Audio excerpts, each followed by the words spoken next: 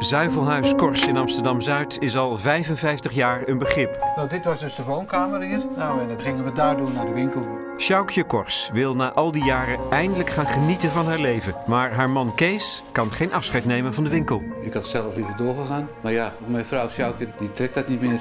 Ik wil al jaren stoppen, omdat ik toch nog van een heleboel dingen wil gaan genieten.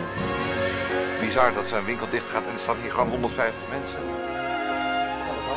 Volgende week in document Niets blijft.